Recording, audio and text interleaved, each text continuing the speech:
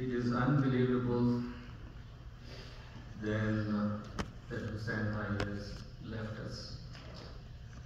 He was here with us almost on a daily basis. Nobody could believe, many people called me that it is really true that he has passed away. But बहुत हकीकत है किसी ने क्या शेर इसी मौजूद पे कहा है कि آگاہ اپنی موت سے کوئی بشر نہیں۔ آگاہ اپنی موت سے کوئی بشر نہیں۔ سامان سو برس کے ہیں پل کی خبر نہیں۔ سامان سو برس کے ہیں پل کی خبر نہیں۔ میں نے پیو کو approach me while given the condolences that you were very good friends of Hussain Merchant. It is true he was a good friend and a elder brother to me. When I moved to Edison in 1986, he was living in the neighborhood. So our children, especially uh, Abbas and Asad, they are classmates. So we did uh, uh, carpooling for the regular school. Our children were also attending the Islamic school and school at Astan Zahra, so every Saturday we would be carpooling with him. He was a courageous man. He lost all his business of clothing, of import and export, and anybody else would have uh, broken, but not him. He established another uh, business, Limo Express. And uh, by this business, he has been providing, he did provide a lot of services to Masjid Ali's guests mass. He will never charge them. And um, you know, when we did not have the GPS and we were on a trip somewhere, and whenever I will get lost, I'll call Hussein Bhai for the direction, and he will look up at the map and will give us the direction. Maula Ali says that uh, live in this uh, world that people want to have your company and when you leave, they remember you. Hussain بھائی اس کال پہ پورے اترتے تھے جب تک زندہ رہے لوگ ان سے ملنا پسند کرتے تھے اور اب وہ چلے گئے ہیں تو ان کو یاد کرتے ہیں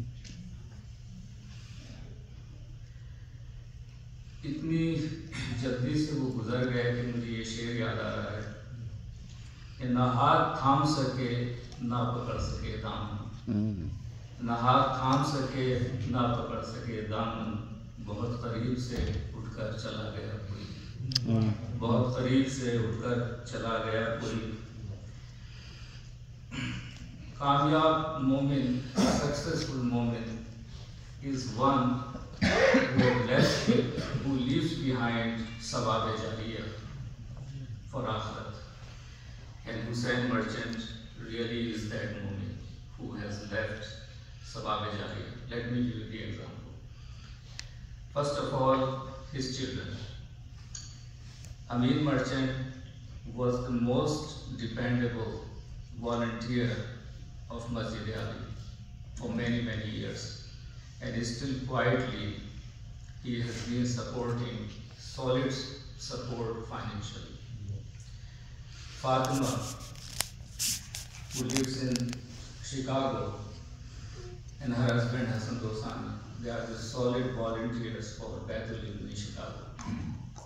And Asad Merchant is one of the main guys who is supporting the Ahmadi, uh, workshops.